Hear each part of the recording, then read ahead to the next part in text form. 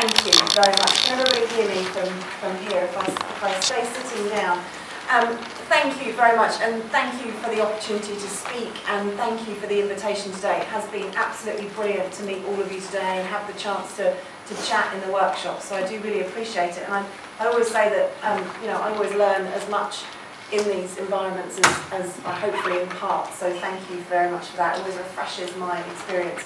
Um, I'm going to start by talking a little bit about myself. Um, hopefully that will become clear as to why. Um, I'm going to talk about organising and, and some of the processes and, and the tools that we use for organising. Um, I became an organiser 16 years ago. Um, I started, as Rena mentioned, on the early years of the Organising Academy, although I have to say not as early as Kevin Lucas, who's sitting here. He was earlier than I was. Um, so that was about 16 years ago, which shows you, you know, it was only 16 years ago that the use of child labour in the union movement was still widespread. Um, hope, uh, you know, that practice has now been wiped out, I'm happy to say. Um, they no longer use child labour. But anyway, why did I become a union organiser? Probably for the same reason that most people became union organisers or become union organisers or get involved in their union. I wanted to change the world. Um, I saw injustice all around me. Um, I wanted equality for working people. Um, I wanted to redress the balance of power. I wanted to take back power for working people um, when I could see it being stripped away. Um, I was very idealistic. I was probably very naive. Um, but I was certainly very determined that I wanted to make a difference. That was the point that I started from. And there were probably lots of paths that I could have chosen at that point. To get involved. I could have chosen a political path, I could have got involved in the voluntary sector, or there were lots of different things that I could have done. But I was very drawn to organising. In fact, I was more than drawn, I fell in love with organising, let's be honest. It's been a love affair that's been going on for a long time. And why organising? I, I fell in love with organising because of the way that it promises to deliver that social justice and, and promises to address inequality. Organising is not about fixing things for people. It's not about seeking out problems and saying to people, I'm going to be your knight in shining armour, I'm going to come along and we're going to make this right. Organising is about getting under people's skin. It's about moving people. It's about empowering people. It's about watching people who believe that they can't do anything to change their situation become confident to take action and actually really make a difference. Um, so it's not about having power for yourself, it's about helping to empower other people. And that's what I was drawn to. That was, that was kind of the ideology that I was drawn to. And there were a lot of us around at the time who were drawn to that through the Organising Academy. So I'm very proud of that. So the, the interesting thing about that is that if you take all of that ideology and naivety and energy, you have to somehow translate that into a practical way of making a difference. Um, and so over the years, as my practice has developed, um, it's been about how do you practically, on a day-to-day -day basis, implement that ideology? What do you need to do? You need a set of tools. I've talked a lot today in my workshops about the toolkit that we have as organisers. You need to be systematic. You need to talk to people one-to-one. -one. You need to map workplaces. You need to identify issues. You need to find leaders and activists.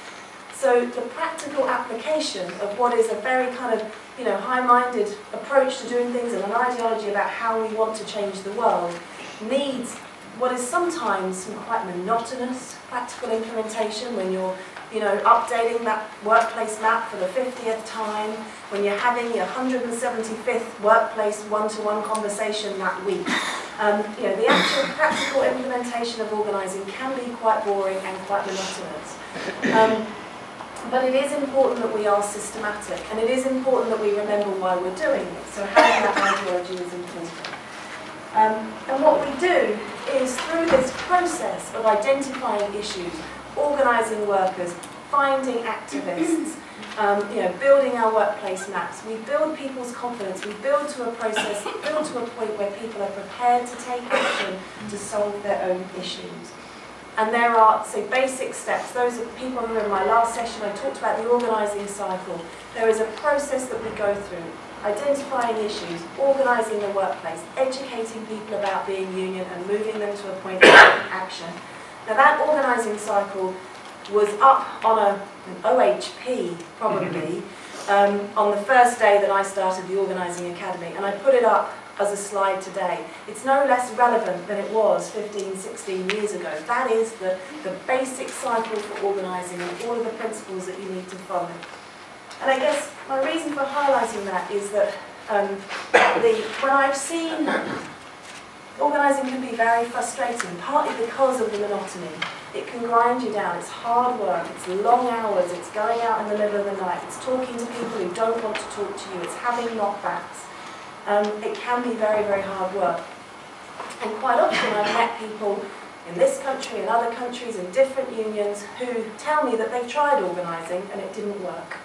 Or they tried to get workers to take action and nobody was interested, nobody wanted to get involved. Um, or there are no issues in that workplace and we've given up and we've moved on. You can't organise that workplace, it's impossible. And when I've started to unpick that with organisers in various unions, often the reason why it hasn't worked is because they've missed bits out. They haven't identified the issues, they haven't done the one-to-one -one conversations, they haven't mapped their workplaces, they haven't built their organisation, they haven't developed their activists. Um, and we think, we still seem to think that there's, there's some kind of silver bullet, there is some kind of knight in shining armour coming over the horizon who's going to rescue us and make this organising work. When actually it's getting the basics right which is important. Every single one of you in this room knows those basics and knows how to do it. It's the application of those basic tools and using that toolkit which will make your, make your organising successful.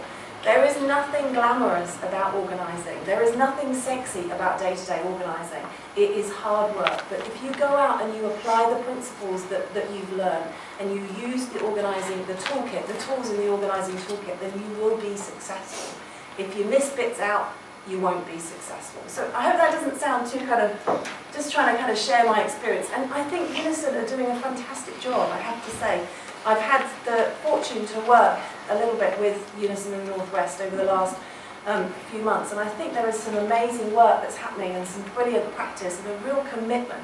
If you have that commitment to actually organising and changing the way that you work, then that, that will take you a long way. So, um, but it's just about keeping going, and I think my message to you would just be to keep going, don't give up. Those workplaces that you think are impossible to organise are not impossible to organise. Even if you've tried once and failed, you need to go back and try again. You need to redo that map. You need to have those one-to-one -one conversations. Um, and it will work if you apply those principles. So hopefully that's not too much of a lecture when I was telling people in my one-to-one -one workshop not to lecture people. Um, but that's kind of, you know, it is that keep going and draw on the support from each other. These events like this are so important it's so great that Unison have organised this because it is about drawing on other people around you and getting that support and getting your network together because this is this is difficult work and you need all the support you can get. So um, thanks again for inviting me and um, yeah, it's been a really, really good day. So.